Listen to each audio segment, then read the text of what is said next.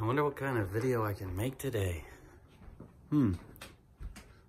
Day in the life of my Doberman puppy by the number one Doberman YouTuber herself, Brooke Houts. All right, so there has to be some, some good advice and really good information I should be able to get in this video, like what brands I should show off to the side of my screen. Basically, every morning what happens is he wakes me up by whining. He's crate trained, so he sleeps in his crate, which I put in the closet, which you might be like, isn't that like kind of low-key Harry Potter, bro? Like, why would you put your dog in the closet?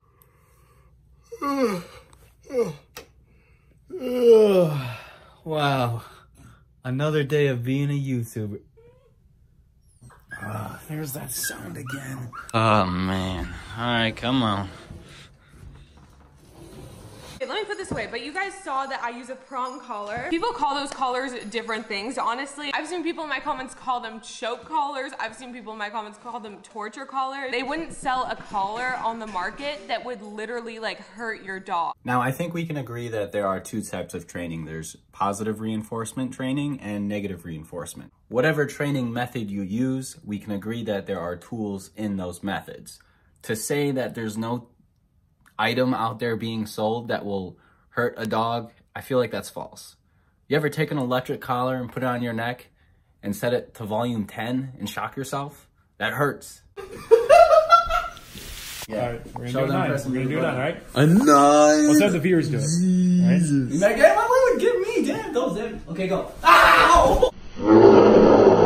Don't go trying to defend something that can hurt your dog if used improperly. Also, if we're going to be talking about dangerous tools for your dogs, Brooke Houts, your hands are just destructive. blah blah. Let's cut to her excuse as to why she can't train her dog. He's a big dog. And I know you guys are gonna be like, well, just teach your dog to not pull on the leash. When you have a dog that's eight months old that is around like 70 pounds or so, even if he's not trying to pull me, it's like he does anyway. And because he's so strong, it can literally knock me to the ground. All right, so right now I'm just looking for a camera spot to set up the phone. I'm holding it in one hand and just trying to find another spot with the other. And uh, I don't know. You know, I just I just can't find one. I hmm hmm hmm hmm. where oh where oh there's one. Look at that. Look at this. Look at this. Look. Dog's over there. On leash can't control 80 pound dog. What? What? What? The ground. One time we were walking down our stairs and he literally like pulled me down the stairs. And I don't mean in like a nice, like, here mom, let me help you kind of way. But he's very strong and he doesn't even know it. You need to relax. Yikes.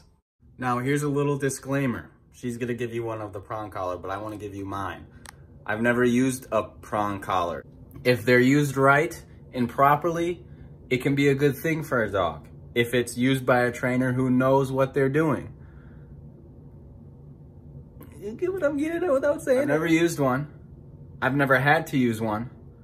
I just use positive reinforcement. If Cyber's not pulling on the leash, he gets a treat. That's that's my mindset when it came to that. Before I even got Cyber, I knew that these dogs were big dogs and require a lot of exercise and I tried to find means to get that energy out of him so he's not pulling the leash. You know, I'm just a small YouTuber who doesn't know anything, so.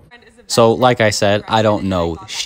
So, let's just see what Brooke Houts has to say about the collar in her video. This is from her video. Abusive hands. This isn't that right, buddy. This is so overexposed right now, but I don't want to stop petting you because you're so cute. What's your name? I've had this guy, oh my gosh. Since he was eight weeks old, I've had this puppy. Trust me, I know him so well. I love him, he loves me. We're two peas in a pod. All right, so I know what you're thinking. Derek, you've made two videos on her already. Why do you keep making videos on it? And I just think I have a perspective on the situation that can show you some things, like how many things you can do in between jump cuts. Maybe you've noticed, but I changed my sweatshirt. That takes a long time. Hitting your dog, though, doesn't take that long. Hmm, big brain. He's really good about keeping himself entertained. Like he does this all day.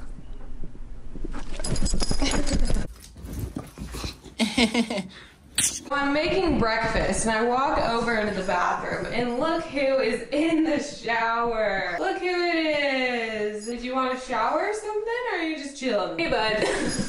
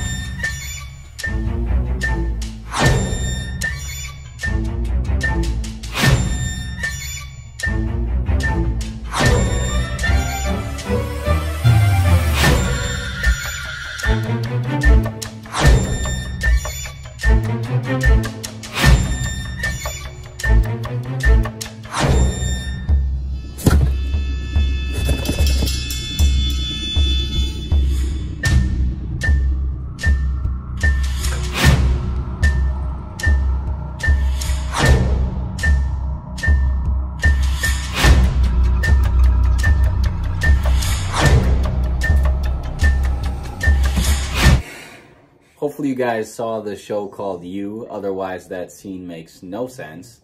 I was watching her vlog and I just got Joe vibes from her dog just being in a glass box. All jokes aside, guys, I appreciate you guys watching. Let me know if you guys want to see anything in the near future. I've mentioned videos coming out and those are in the works. However, I wanted to put this out today just to give me more time to work on those really important projects. So, uh, yeah, just wanted to make an announcement. Don't know what I'm going to call this video, but Thanks for watching. What a weird outro. Can you help me with the outro? Cyber. I said, can you help me with the outro? Can you help me with the outro? Can you help me with the outro? okay, you guys.